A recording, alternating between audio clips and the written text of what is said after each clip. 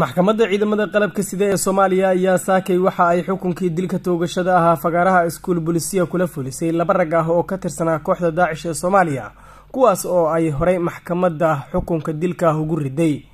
Raggan oo lagu kala magacaabi jiray aadan maxamed cali maxamuud iyo sidoo kale maxamed cali maxamed faarax ayaa lagu helay dilal ay ka kala geysteen magaalooyinka muqdisho iyo sidoo kale boosaaso ee xarunta gobolka bari jenaraal cabdulaahi buule kame xeralyaha guud ee ciidamada qalabka sida ayaa dilka toogashada ah kadib warbaahinta la hadlay. Afar marxuum ekis dable xoogga cabdi axmed xuseen taariikhdu markay ahayd toddobailabaatankii bishii koowaad degmada yaakshid waxayna maxkamaddu ku xukuntay dil toogasho ah oo ahaa khisaastii marxuumiinta marxuumiinta sare ku xusan.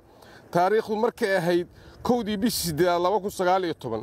Maanta oo ay taariikhdu tahay lixii labaatanka bisha tobnaad waxaa lagu fuliyey xukunkii dilka ahaa.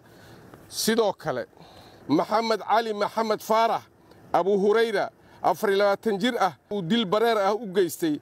Marxuum ekis kormeere saddexaad dowladda hoose maxamed cabdi dhuxulow dawiil taariikhdu markay shantii bishii siddeedaad laba kun sagaaliyo toban falkaas oo ka dhacay suuqa siinaay ee degmada warta nabadda ee magaalada muqdisho.